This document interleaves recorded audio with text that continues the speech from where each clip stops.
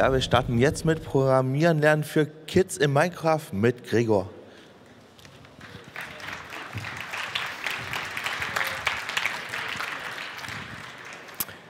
Ja, schönen guten Tag. Ähm, schön, dass so viele Leute da sind. Äh, ich will ein bisschen von meinen Erfahrungen erzählen, ähm, wie ich äh, probiert habe, ich glaube mehr oder weniger erfolgreich, Kindern das Programmieren beizubringen in Minecraft. Ein bisschen über meinen Hintergrund. Ähm, ich habe grundsätzlich einen technischen Hintergrund und ich mache jetzt seit einem Jahr äh, viel mit Kinder, Kinderkursen. Äh, ich mache so Forscherkurse mit Kindern. Hier sieht man mich zum Beispiel mit einer Stampfrakete im Open Lab Augsburg. Ähm, ich probiere in den, in den Kinderkursen, ähm, also mit den, in, den, in den Forscherkursen mit den Kindern zu experimentieren, zu forschen äh, die Sachen gehen eigentlich immer anhand von einem Phänomen aus. Ähm, ich probiere immer die Lebenswelt der Kinder zu berühren, dass man eben was ist, was die Kinder kennen, was sie einfach auch zu Hause ausprobieren können, was ihre Welt berührt und sie damit äh, für wissenschaftliche Phänomene, für Wissenschaft, für wissenschaftliches Vorgehen, für Forschen ähm, zu begeistern. Ähm, ich habe einen Sohn, der ist neun Jahre alt mittlerweile und ja, der spielt sehr, sehr gern Minecraft und ähm, grundsätzlich stellt sich ja die Frage, wenn es darum geht, wieso sollen denn Kids überhaupt programmieren lernen? Wieso sollen die überhaupt coden lernen?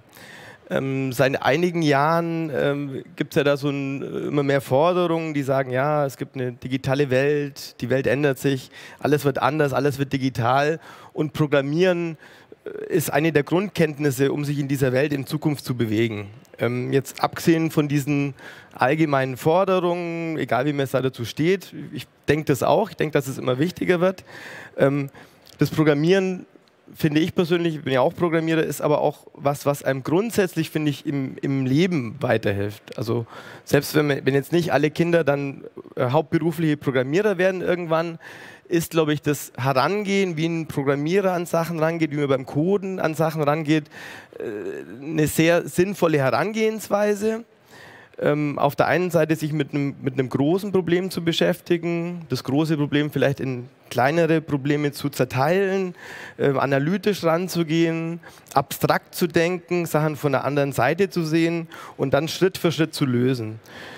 Ähm, auch grundsätzliche Sachen wie Sachen an Sachen dran zu bleiben. Also ich glaube, jeder, der programmiert und was mit Computern weiß, ist, es gibt oft mal eine Sackgasse, man kommt irgendwo hin, wo man denkt, es geht nicht mehr weiter, man probiert ewig, man guckt und wenn man einfach lang genug dran bleibt an, an Sachen und, und hartnäckig genug ist, kann man am Computer alles lösen und das finde ich auch was, was sehr, sehr interessant ist, was man beim Programmieren und beim Umgehen mit, mit Computern lernen kann.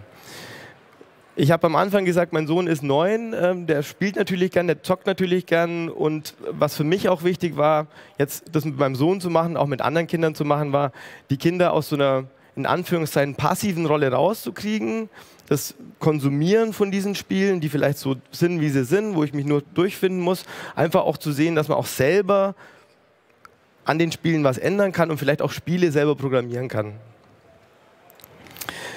Warum habe ich dafür Minecraft gewählt? Ähm, es gibt ja auch viele andere offene Plattformen, wo viel Programmiersachen laufen. Es gibt äh, Scratch, es gibt MakeCode von Microsoft. Ähm, es gibt vom Fraunhofer Institut äh, fertige Programmiersprachen, mit denen man das alles lesen, äh, lernen kann. Ähm, die, gibt's, die meisten sind auch offen, sind auch quelloffen teilweise und können direkt im Browser benutzt werden, ohne dass ich jetzt irgendwie eine Lizenz kaufen muss, die ich für Minecraft ja brauche. Ich finde manchmal äh, Scratch oder auch Calliope und Arduino ist oft sehr abstrakt. Also ich habe vorher gesagt, ich probiere immer die, die, die Kinder da abzuholen, wo sie sind, das, was sie, was sie gern machen, was sie, was sie äh, schon kennen, was sie erfahren. Und da ist es sehr abstrakt, da blinkt dann irgendwas oder macht irgendwas Tütüt. Aber es ist immer so die Frage, was man wirklich damit machen kann. Ähm, Minecraft ist natürlich genauso abstrakt, das ist auch nur eine rein virtuelle Welt, die ist nur im Computer, aber jeder, der schon mal mit Kindern über Minecraft gesprochen hat oder selber Minecraft gespielt hat, weiß, wie echt es für die Leute ist. Also es ist unglaublich echt und greifbar und was da passiert, ist Wirklichkeit für die Kinder. Ähm, ich war dann dieses Jahr auf in der Gulasch Programmiernacht in Karlsruhe, habe dann einen super interessanten Vortrag gehört, der mich dann inspiriert hat, das auch mit den Kindern zu machen. Ähm, der ist hier auch verlinkt. Äh, wer Programmieren in Minecraft sucht und äh, GPN, der findet den auch. Ähm, und da hat ähm, der Frank erklärt, was er macht. Der hat auch mit Kindern was in die Richtung gemacht. Und das war dann für mich der Startpunkt, um zu sagen, ich lege auch in die Richtung los. Ähm, wie funktioniert das Ganze? Was ist denn so die, das Besondere? Also ich kann in Minecraft ja theoretisch auch mit Redstone äh, schaltungsähnliche Sachen machen und Sachen programmieren. Äh, ich habe es hier mit einer Erweiterung gemacht, die heißt Computercraft Edu und damit kriege ich eine programmierbare Schildkröte nach Minecraft. Die sieht man hier an der Mitte auch. Ähm, also ja, ist halt ein Block, ist viereckig, ist ein Quader. Ja, so sieht Minecraft eben alles aus. Ähm, kann ich auch personalisieren, machen die Kinder auch immer alles als erstes. Das Ding hat eine Fernbedienung, sieht man rechts unten im Bild, ähm, und eben auch eine Programmieroberfläche. Da sieht man mal so, wie das knapp funktioniert. Das funktioniert auch wieder mit den Blöcken, mit Quadraten, so wie man das in Minecraft kennt. Viele der Symbole, die man hier sieht, sind eben auch Symbole, die in Minecraft vorhanden sind. Und damit kann ich jetzt ähm, zu programmieren anfangen. Man sieht auch schon, der unterstützt mich hier mit so einer IDE, gibt mir rote Blöcke vor, wo was fehlt. Ähm, gibt mir Einrückungen vor, um Verschachtelungen richtig zu machen und so. Und da kann ich dann unglaublich schnell einfach Sachen programmieren. Äh, mehr Infos dazu, wie man diese Mod installieren kann, äh, die heißt eben Computercraft Edu. Ähm, ich brauche grundsätzlich ähm, die Java-Edition von Minecraft. Ich brauche Forge, was die Basis für alle Mods in Minecraft ist, auch in einer bestimmten Version, 1.8.9. Und eben die Computercraft Edu äh. Ähm, auf meiner Homepage kann man das Ganze ähm, ist eine genauere Anleitung, wie man das alles runterlädt, ist ein bisschen ein Gefrickel. Ähm, und ich habe auch eine deutsch übersetzte Version von der Mod. Oft ist für die Kinder ja, wenn die, also ich mache die Kurse für Kinder zwischen 6 und 12 und da können die im Zweifel noch nicht so gut Englisch. Ja, was probiere ich den Kindern da äh, beizubringen? Ähm, ich fange am Anfang erstmal an, nicht am Computer was zu machen, sind sie erstmal enttäuscht. Äh, aber ich habe so kleine programmierbare Mäuse, ich habe die auch dabei, könnt ihr euch auch nachher angucken. Die kosten nicht viel und da kann ich eben, seht ihr die Symbole oben drauf, vorwärts gehen, rückwärts gehen, links und kann eben so eine Maus programmieren. Ich habe hier ein, ähm, das Ganze immer so spielerisch wie möglich aufgebaut. Es gibt ein Labyrinth. In dem Labyrinth sitzt eine Katze. Da soll ich mit der Maus lieber nicht hinkommen. In dem Labyrinth gibt es einen Käse, den möchte ich eben essen. Und, und so fangen die Kinder an, die ersten Schritte dazu machen, dieses Labyrinth zu lösen. Wir gehen den dann eben auch hin. Unten sieht man das auch bei der Maus, da liegen dann so Karten dabei. Und da mache ich mein erstes Programm nur mal erstmal in Anführungszeichen offline mit so Karten.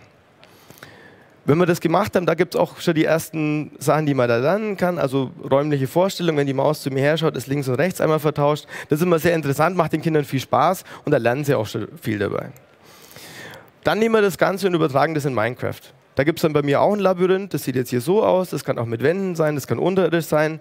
Und dann müssen Sie im ersten Schritt eben auch genau das machen, was Sie mit der Maus gemacht haben. Da zählen Sie erstmal die Kästchen ab. Ich muss mich links drehen, ich muss mich rechts drehen, um da möglichst gut durchzukommen.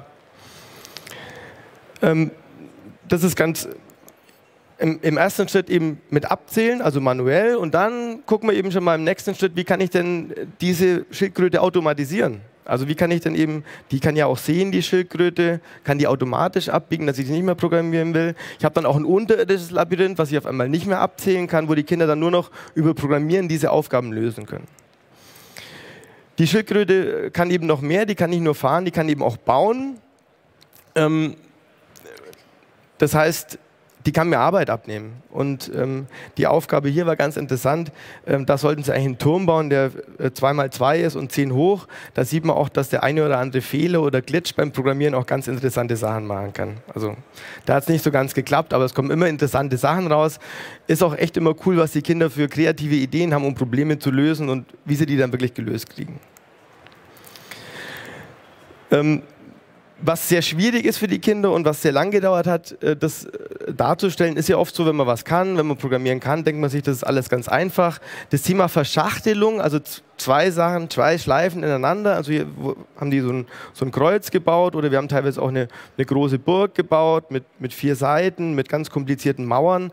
Ähm, kann man eben an so plastischen Beispielen sehr gut äh, darstellen und da auch, ähm, auch immer einen Sinn dahinter machen. Also es ist immer spielerisch, es ist immer was rauskommt, was den Kindern Spaß macht und wo sie sich dann im Zweifel äh, Arbeit sparen sozusagen. Ähm, wir haben, wie gesagt, auch zum Beispiel eine riesige Burg gebaut. Da hätten wir Tage gebraucht, die manuell zu bauen und da setze ich verschiedene Schildkröten hin und kann mir die Arbeit in Minecraft erleichtern sozusagen. Ja, dann sind wir tiefer eingestiegen und genau wie ich vorher auch gesagt habe, ähm, wenn dann Sensoren, ich, äh, am Anfang hatte ich ja gesagt, wir, ich rede mit den Kindern über Roboter, was gibt es denn für Roboter? Da kennen dann alle immer den Staubsaugerroboter. Ja. Und wie funktioniert der? Der fährt mit dem Kopf gegen die Wand, doing, und dann dreht er sich um und fährt wieder zurück. Staubsaugerroboter sind natürlich extrem langweilig. Wieso sollen wir überhaupt Staubsaugen? Äh, auch der Rasenmäherroboter ist extrem langweilig. Aber wenn wir jetzt einen Roboter bauen, der zum Beispiel das, äh, eine der, der wertvollsten Sachen in Minecraft erntet, Smaragde, wie man hier sieht, dann wird das Ganze schon viel, viel interessanter und die Kinder sind da wirklich mit, mit einem riesen Ehrgeiz dabei, so eine Maschine zu bauen, die jetzt automatisch unglaublich viele von diesen teuren Smaragden ernten kann. Ähm, und zum Abschluss, also es gibt dann verschiedene Programmieraufgaben, die Kinder lernen Schleifen, die lernen Wenn-Dann-Sachen, die lernen Unterprogramme, die lernen den Aufbau von so Sachen, wie bewege ich mich, wie baue ich Sachen. Äh, und zum Abschluss gibt es dann eine sogenannte Turtle Island. Das ist eine riesig große vorbereitete Welt, wo es verschiedene ähm, Abschlussaufgaben gibt. Da gibt es erstmal ein Museum, das ist diese riesige Schildkröte hier, wo man reingehen kann, sich alles nochmal angucken kann. Ähm, die ist speziell für Kinder vorbereitet. Da gibt es also Grenzen, dass sie nicht ähm, verloren gehen sozusagen in dieser großen Welt. Schritt für Schritt gibt es verschiedene Level, spannende Rätsel, die die lösen müssen, die auch wirklich mit, mit Lava sind und so, die wirklich den Kindern sehr, sehr viel Spaß machen. Und ganz wichtig bei diesen Aufgaben ist auch immer wieder dieses Spielerische. Es gibt immer Belohnung. Also jedes Mal, wenn man eine Aufgabe gelöst hat, kriegt man so einen Orb und mit diesem Orb kann ich zu einem Händler gehen und mir Items holen, die es sonst nicht gibt. Das ist ganz, ganz wichtig für die Kinder und macht ihnen dann unglaublich viel Spaß. Wenn ich die Stunden immer gemacht habe, haben wir immer eine Viertelstunde programmiert und eine halbe Stunde danach durften sie dann ihre Items ausprobieren und es war ein sehr großes Erfolgserlebnis für die Kinder, das dann auszuprobieren und das geschafft zu haben und da durchgekommen zu haben. Jetzt noch ein bisschen, wie ich die Sachen erklärt habe und wo ich an, an Grenzen gestoßen bin. Ist ja oft so, wie gesagt, ich habe es ja vorhin schon gesagt, wenn man was kann, denkt man sich, der andere muss es auch ganz leicht verstehen, aber es ist gar nicht manchmal so leicht. Und wie bringe ich das den Kindern oder äh, am besten bei, so Sachen? Ähm, ich bin äh, irgendwann sehr schnell hergegangen und habe eine Mischung aus On- und Offline-Sachen gemacht. Ähm, wenn die Kinder anfangen, die sind in Minecraft, dann sind die in so einem Tunnel, dann laufen die sofort los. Dann machen die und klicken und so, das ist ja auch ganz toll, die haben da keine Berührungsängste, klicken sich durch, wenn irgendwo was steht, wird grundsätzlich nicht gelesen, es geht einfach los. Und wenn die Sachen aber komplexer werden, wird es dann oft frustrierend, weil sie dann nicht verstanden haben, wie muss ich die Aufgabe lösen. Das hat bei den Wenn-Dann-Sachen so, war, war das so, das haben die erstmal nicht kapiert ich bin dann im, im, zweiten Schritt hergegangen und gesagt, alles klar, wir machen das erstmal offline. Ich habe so Karten gebastelt, wo ähm, sprachlich drauf stand, eben, die mussten erstmal diese Lösung für das Problem sprachlich mit den Karten formulieren. Wenn vor mir eine Wand ist, dann dreh dich um. Die haben das formuliert mit, mit, mit Text, mit diesen kleinen Karten und die konnten die Karten umdrehen und auf der Rückseite der Karten waren dann die Programmiersymbole. Da konnten die erstmal konzentriert das Ganze machen, das Ganze verstehen und dann umsetzen und dann hat es viel besser funktioniert. Ähm, da gibt es übrigens, also aus meiner Erfahrung, einen großen Unterschied zwischen Mädchen und Jungen. Ähm, die Jungen, die rennen immer sofort los, kein Halten, Vollgas. Und die Mädchen, die machen sich da vorher Gedanken immer. Die sitzen dann immer zu zweit und sagen, hm, wie können wir das machen, wie können wir das lösen. Lustigerweise sind die Mädchen auch meistens schneller als die Jungs in so Programmieraufgaben lösen. Da denkt man immer, ja, also oft sind, gibt es gibt viel weniger Mädchen als Programmierer als Jungs. Aber wenn man die in der, in der frühen Phase abfängt, kann man die, glaube ich, auch dafür begeistern. Und äh, ich habe da keine Unterschiede gesehen. Also die Mädchen waren meistens sogar noch besser als die Jungs in meinen Kursen zumindest. Ähm, ich habe die Sachen auch probiert, immer dann greifbar zu machen. Gerade wenn es ums Bauen geht, äh, bietet sich halt auch immer Lego an. Minecraft ist ja wie Lego im Computer sozusagen. Da gab, ich hatte dann immer meine Lego-Sachen dabei. Wenn Sachen schwer waren, sich vorzustellen, wie baue ich jetzt so einen Turm, wie muss die Schildkröte jetzt da gehen, um immer diese vier Blöcke zu machen, ähm, habe ich das immer mit Lego danach bauen lassen und dann erstmal offline probieren, mit den Karten auslegen und dann im Computer machen und dann hat es auch immer sehr, sehr gut funktioniert. Ähm, wie sieht denn so eine Welt aus, in der man sowas lernen kann? Ähm, am Anfang habe ich den, den Fehler gemacht und einfach so eine Standardwelt in Minecraft erzeugt, die ja unglaublich bunt ist, unglaublich groß, wo es unglaublich viele Sachen zu entdecken geht. Und da ist es so, dass sind die Kinder erstmal alle verschwunden in dieser Welt. Die waren so fasziniert von dem, was alles, was es da gibt, was man alles machen kann, dass das Programmieren einfach erstmal im Hintergrund war. Da waren die alle immer weg. Man muss da wirklich eine, so, eine, so eine flache Welt machen, so eine Flachlandwelt, in, in, in, in der es nichts gibt. Also da ist flach, Da, da gibt es auch nichts zu entdecken, egal wie weit sie in irgendeine Richtung laufen, da kommt nichts mehr. Hier hüpfen jetzt noch ein paar Monster rum. Auch die habe ich dann irgendwann rausgemacht. Äh, ich habe die Monster abgeschaltet ähm, und ich habe den Modus in Minecraft auf den Abenteuermodus gestellt. Beim Abenteuermodus ist es so, da können die Spieler selber nichts abbauen oder nichts bauen, sondern nur die Schildkröte kann das. Und da ist wieder genau der, der Anreiz da. Ich kann die Sachen nicht manuell mit viel manueller Arbeit lösen, sondern ich muss meinen Kopf anstrengen, um die, um die, äh, die Programmiersachen, um programmatisch die Sachen zu lösen. Ja, ich habe ja gesagt, zum Schluss waren wir dann ähm, auf einem Server, also waren wir in dieser Turtle Island, das ist so eine Mehrspielerwelt, die eben dafür vorbereitet ist, diese Aufgaben zu machen und programmieren zu lernen. Äh, und da habe ich zum ersten Mal, die meisten Kinder, die bei mir waren, haben noch nie auf einem Server vorher gespielt. Die haben alle immer offline gespielt, die haben noch nie gemeinsam auf einem Server gespielt. Ähm, ich habe es nicht erwartet, dass es so schnell funktioniert. Also das Erste war, was sie alle probiert haben, sich gegenseitig totzuschlagen äh, oder auf den Kopf zu schlagen. Was ist, ist ja eine virtuelle Welt, das ist ja vollkommen in Ordnung. Aber es hat wirklich das war das allererste, was sie alles gemacht haben. Kann ich den anderen hauen? Nee, hat nicht funktioniert. War im Abenteuermodus. Und dann hat es ähm, ungefähr fünf Minuten gedauert, bis die alle den Chat entdeckt haben und sich gegenseitig beleidigt haben. Also jetzt nicht in, in eine, auf eine schlimme Art oder so. Und es ist ja auch in Ordnung, das in diesem virtuellen Raum sich da anders zu verhalten und das zu erforschen. Ähm, aber es hat dann wirklich, ging sofort los. Also es hat wirklich fünf Minuten gedauert. Und dann haben die das gegenseitig gemacht. Ähm, ich habe das dann mit den Kindern geme gemeinsam thematisiert. Ich fand das super interessant, auch mit den Kindern zu sagen, hey, was, ihr sitzt jetzt hier seit fünf Stunden mit mir, es hat noch nie jemand anderen einen geschlagen, es hat noch niemand jemand beleidigt. Wir sind in dieser virtuellen Welt und der Schalter geht um und ähm, ihr seid auf einmal alle äh, Wilde. Also mir ist dann das Thema mit den Digital Natives gekommen. Ähm, das sind da, die sind da wie Wilde. Also die laufen da rum mit der Keule, hauen sich gegenseitig auf den Kopf. Und ich finde es gut, die Kinder in so einer spielerischen Umgebung ähm, dazu begleiten und mit, mit, ihnen das gemeinsam zu erfahren und auch zu thematisieren und darüber zu reden. Und dann ähm, sagen die dann auch, ja, hm, ich kenne jemanden, der hat nur auf dem Server gespielt und da wurde der ausgeschlossen, wurde der beleidigt. Und wenn die Kinder darüber nachdenken, und das ändert, glaube ich, wirklich viel. Äh, wir haben auch über Identitäten gesprochen. Also die haben ja dann alle irgendwelche Nicknames und Avatarnamen. Ja, was ist denn der? Ist denn der, der Chris in dem Spiel? Ist es auch der Christ, den ich kenne. Ich habe mich da mal eingeschlichen in eins der Spiele mit so einem Namen von einem Kind, das da war und äh, habe da auch Unfug getrieben. Und äh, dann haben die gesagt, hey Chris, was soll denn das? Äh, wieso schreibst du mir sowas Böses? Dann war der das aber gar nicht. Also war auch gut, das mal auszuprobieren und zu fühlen, dass so eine virtuelle Identität äh, gar nichts vielleicht mit der echten Identität zu tun hat und diesen Unterschied auch zu kennen. Ähm, was dann sehr, sehr gut funktioniert hat, ist, äh, ich habe dann zum Schluss ähm, Schilder gemacht. Also die Kinder äh, ähm, äh, haben da immer eigene Skins, wurde dann ausgedruckt mit dem Namen und das klebte immer an dem Computer. So, dann war es so, dass wenn die da den äh, Flip 23 gesehen haben, haben die auch den Flip 23 da gesehen und haben diese Brücke geschlagen und auch emotional haben die dann auch anders verhalten. Also das finde ich hat sehr, sehr, sehr gut funktioniert.